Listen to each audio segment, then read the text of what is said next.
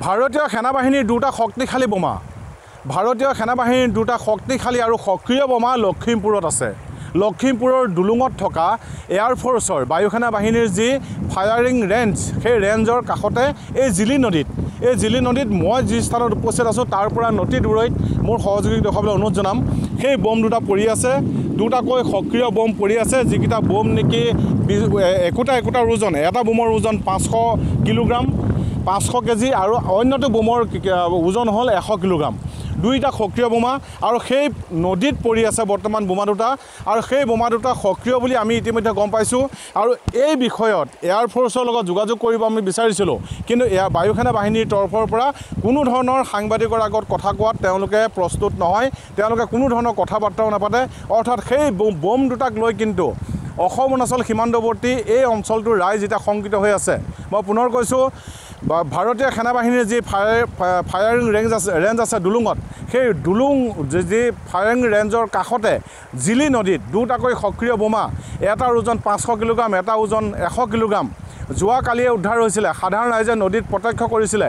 তাৰপিছত এই পৰ্যন্ত আজিলৈকে কিন্তু জিলি নদীৰ বুকুৰ পৰা সেই বোম দুটা উদ্ধাৰ কৰি নিষ্ক্ৰিয় কৰাৰ ব্যৱস্থা কৰা নাই। বায়ু সেনা বাহিনী তথা ভাৰতীয় সেনা বাহিনীৰ লোকে। আৰু জানিব পৰা মতে সেই বোম দুটা যদি বিস্ফোৰণ হয় তেতিয়াহ'লে দুই কিলোমিটাৰ যি ৰেডিয়াছ তাত প্ৰভাৱ পৰিব। নিতান্তই অসম অৰুণাচলৰ যি দাঁতিকাষৰীয়া এটা সুন্দৰ এলেকা মই পুনৰ দেখুৱাইছোঁ। এই এলেকাটো হয়তো বিস্ফোৰণত কঁপি উঠিব। বহু লোকৰ বিভিন্ন ধৰণৰ হানি বিঘিনি হোৱাৰ সম্ভাৱনা আছে। বৰ্তমান মই ডুলুঙত আছোঁ। ডুলুং ডুলুঙৰ যি জিলি নদী জিলি নদীতে সেই বোম দুটা উদ্ধাৰ কৰা হৈছে আৰু বোম দুটা যথেষ্ট পুৰণি। প্ৰায় পোন্ধৰৰ পৰা বিছ বছৰ ধৰি নদীত পৰি আছিলে সেই বোম দুটা। ইতিমধ্যে আমি দৰ্শকসকলক বোম দুটাৰ ফটো দেখুৱাইছোঁ। এই দুটা বোম এটাৰ ওজন পাঁচশ কিলোগ্ৰাম এটাৰ ওজন এশ কিলোগ্ৰাম আৰু সেই বোম দুটা যদি বিস্ফোৰণ হয় তেতিয়াহ'লে নহ'বলগীয়া বহু কথাই হ'ব। ইতিমধ্যে আল স্বাধীনতা দিৱসত আলফাই সংস্থাপন কৰা বোমাৰ যি আতংক সেই আতংক ৰাইজৰ মনৰ পৰা আঁতৰ হোৱা নাই।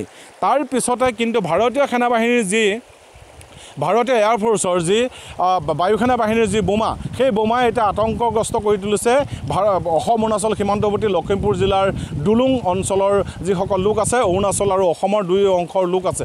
দুই দুই অংশৰ লোককে সীমান্তৱৰ্তী ৰাইজক আতংকিত কৰি ৰাখিছে। মোৰ লগত এগৰাকী মাছমৰীয়া আছে জিলা নদীত মাছ মাৰিবলৈ আহিছে। দাদা বোম দুটা আছে আপুনি গম পাইছে?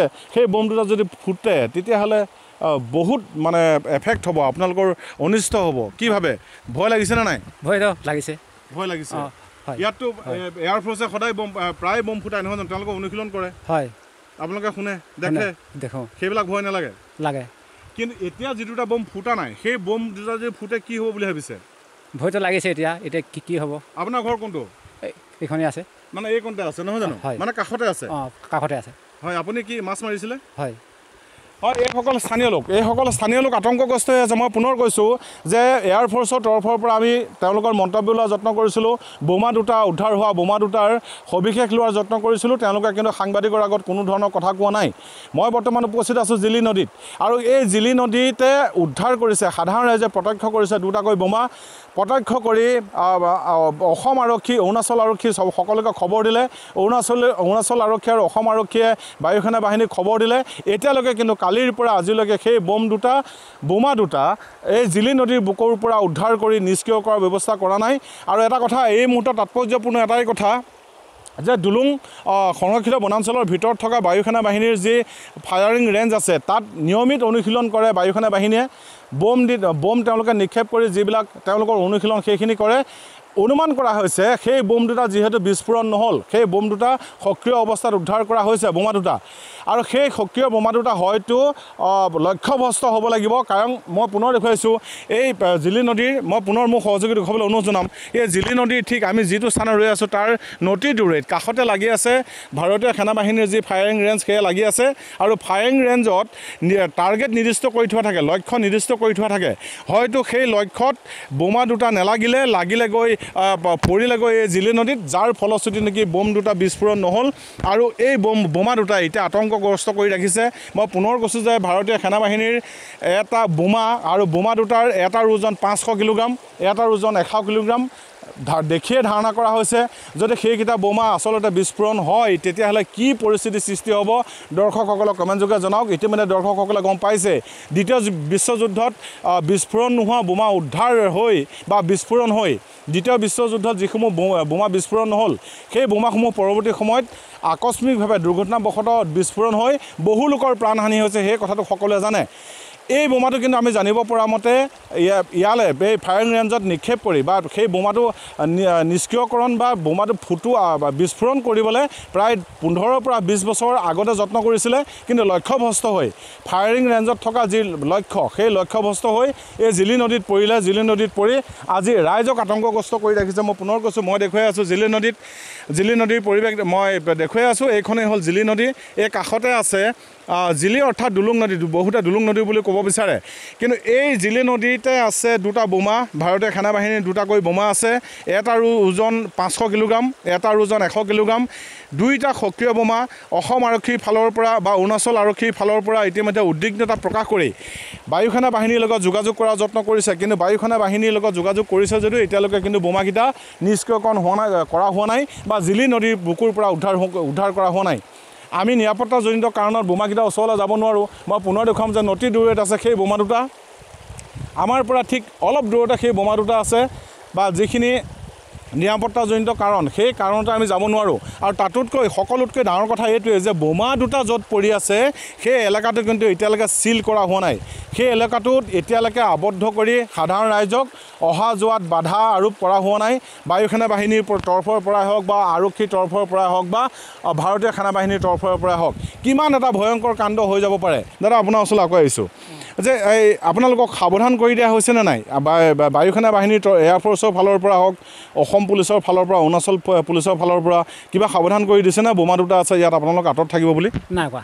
এতিয়ালৈকে কৰা নাই? নাই কোৱা।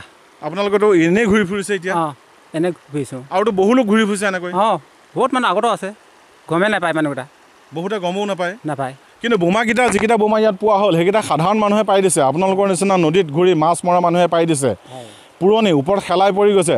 বিস্ফোৰণ নহ'ব বুলি আমি নিশ্চিত হ'ব নোৱাৰোঁ। কাৰণ দ্বিতীয় বিশ্বযুদ্ধত উদ্ধাৰ হোৱা বোমা ফুটি বহুত বিস্ফোৰণ হৈ বহুত মানুহ মৰিছে। তাৰ উদাহৰণ আছে। কি কৰিব? আপুনি নিশ্চয় আপোনাৰ মনত চাগে এটা শংকা হৈছে যে বোমাটো ফুটিলে কি হ'ব পাৰে? ভয়টো লাগিছে। এতিয়া ফুটিলেতো এতিয়া নষ্ট হ'ব মানুহ। মানুহৰ অনিষ্ট হ'ব। অঁ অনিষ্ট হ'ব। অঁ কি ক'ব? পুলিচক হওক আৰক্ষী বা সেনা বাহিনীক হওক বা এয়াৰফ'ৰ্চক কিবা ক'ব নেকি? বা বোমাটো সোনকালে উদ্ধাৰ কৰি নিষ্ক্ৰিয় কৰিব লাগে তেনেকুৱা ধৰণৰ কিবা আবেদন জনাবনে? তেতিয়া যদি বোমাটো আছিল তো বোমাটো এতিয়া ওলাবই লাগিব। অঁ। নহ'লে মানুহ এতিয়া লোকচান হ'ব ন? মানুহক বিপদত পেলাব। নালাগে। বিপদ হ'ব নহ'লে। হয় মই পুনৰ কৈছোঁ লখিমপুৰ জিলাত যোৱাকালি উদ্ধাৰ হ'ল দুটাকৈ ভাৰতীয় সেনা বাহিনীৰ বোমা। এটাৰ ওজন পাঁচশ কিলোগ্ৰাম এটাৰ ওজন এশ কিলোগ্ৰাম। আৰু দুইটা উদ্ধাৰ হৈছে ভাৰতীয় সেনা বাহিনীৰ যি বায়ু সেনা বায়ু সেনাই অনুশীলন কৰা ফায়াৰিং ৰেঞ্জ দুলুঙৰ সেই ফায়াৰিং ৰেঞ্জৰ কাষতে থকা জিলি নদীত। আৰু জিলি নদীত সেই বোমা দুটা এতিয়ালৈকে পৰি আছে। য'ত বোমাকেইটা পৰি আছে সেই অঞ্চলটো এতিয়ালৈকে চিল কৰা হোৱা নাই। অৰ্থাৎ বোমাকেইটা উন্মুক্ত অৱস্থাতে আছে। সাধাৰণ ৰাইজে প্ৰথমে বোমাকেইটা প্ৰত্যক্ষ কৰি আৰক্ষীক খবৰ দিছিলে। আৰক্ষীয়ে খবৰ দিলে এয়াৰফ'ৰ্চক এতিয়ালৈকে কিন্তু এয়াৰফ'ৰ্চৰ তৰফৰ পৰাই হওক বা অৰুণাচল পুলিচ আৰক্ষী বা অসম আৰক্ষী তথা আৰু তাৰ উপৰিও ভাৰতীয় সেনা বাহিনীয়ে বোমাকেইটা উদ্ধাৰ কৰি নিষ্ক্ৰিয়কৰণ ব্য- কৰাৰ ব্যৱস্থা কৰা নাই। মই আকৌ এবাৰ উল্লেখ কৰিব লাগিব যে বোমাকেইটা আকাৰ যথেষ্ট ডাঙৰ। এটাৰ ওজন পাঁচশ কিলোগ্ৰাম এটাৰ ওজন এশ কিলো কিলোগ্ৰাম। যদি সেই বোমাকেইটা বিস্ফোৰণ কেনেবাকৈ হয় তেতিয়াহ'লে বহু অঘটনেই ঘটিব পাৰে। আৰু আমাৰ আমি জানিব পৰা মতে সেই বোমাকেইটা বিস্ফোৰণ হ'লে প্ৰায় দুই কিলোমিটাৰলৈকে তাৰ প্ৰভাৱ পৰিব পাৰে। অৰ্থাৎ জনবসতিপূৰ্ণ এলেকা অৰুণাচলতে অসম অৰুণাচল আৰু অসম দুয়োটাৰে জনবসতিপূৰ্ণ এলেকাত প্ৰভাৱ পৰিব পাৰে। তাৰ প্ৰতি কিন্তু এতিয়ালৈকে সেইখিনি বিপদৰ প্ৰতি লক্ষ্য ৰাখি এতিয়ালৈকে ভাৰতীয় সেনা বাহিনীয়ে হওক বা এয়াৰফ'ৰ্চে হওক কোনো ধৰণৰ তৎপৰতা অৱলম্বন কৰা নাই। এতিয়ালৈকে বোমাকেইটা তেওঁলোকে উদ্ধাৰ কৰি নিষ্ক্ৰিয়কৰণ কৰাৰ ব্যৱস্থা কৰা নাই। তাৰ ফলত সাধাৰণ ৰাইজে কিন্তু শংকাত ভুগিছে আতংকত ভুগিছে। মই পুনৰ কৈছোঁ লখিমপুৰ জিলাত যোৱাকালিয়ে উদ্ধাৰ হ'ল অসম অৰুণাচল সীমান্তৱৰ্তী দুলুঙত উদ্ধাৰ হ'ল। জিলি নদীৰ বুকত দুটাকৈ বোমা এটাৰ ওজন পাঁচশ কিলোগ্ৰাম এটাৰ ওজন এশ কিলোগ্ৰাম। সেই বোমাকেইটা উদ্ধাৰ কৰি এতিয়ালৈকে নিষ্ক্ৰিয়কৰণ কৰা নাই। সেনা ভাৰতীয় সেনা বাহিনী তথা বায়ু সেনা বাহিনীয়ে বায়ু সেনা বাহিনীৰ দায়িত্ব আছিলে লক্ষ্যভ্ৰষ্ট হৈ যিহেতু জিলি নদীত পৰিলে। ফায়াৰিং ৰেঞ্জৰ যি লক্ষ্য সেই লক্ষ্যত নেলাগিলেগৈ সেই বোমকেইটা। তাৰ পৰিৱৰ্তে জিলি নদীত পৰিলে। আৰু সেই বোমাকেইটাৰ পৰা হ'ব পৰা ভয়ংকৰ যি পৰিস্থিতি তাৰ প্ৰতি কোনো ধৰণৰ দায়িত্ব প্ৰকাশ কৰা নাই। দায়িত্বশীলতাৰ বা দায়িত্ববোধৰ কোনো পৰিচয় দিয়া নাই বা এয়াৰফ'ৰ্চে তৎকালে যদি সেই বোমাকেইটা উদ্ধাৰ নকৰে তেতিয়াহ'লে নহ'বলগীয়া বহু ঘটনাই সংঘটিত হ'ব পাৰে। ধন্যবাদ। নিউজ এইটিন অসম নৰ্থ ইষ্টৰ সেই ডিজিটেল পেজ চাই থকাৰ কাৰণে মই আমাৰ দৰ্শকসকলক দেখুৱাবলৈ যত্ন কৰিলোঁ। ভাৰতীয় সেনাবাহিনী সেনাবাহিনীৰ যি এয়াৰফ'ৰ্চ আছে বায়ু সেনা বাহিনী আছে তেওঁলোকৰ বোমা দুটা ক'ত কেনেকৈ পৰি আছে সেয়া দেখুৱাবলৈ যত্ন কৰিলোঁ। মাত্ৰ মই একেবাৰে ওচৰলৈ যোৱা নাই নিৰাপত্তাজনিত কাৰণত কাৰণ সেইকেইটা সক্ৰিয় বোমা। যিহেতু মই যদি ওচৰলৈ যাওঁ তেতিয়া যদি বোমাটো বিস্ফোৰণ হয় তেতিয়াহ'লে দৰ্শকসকলে কমেণ্ট যোগত জনাওক কি পৰিৱেশ সৃষ্টি হ'ব পাৰে। ধন্যবাদ।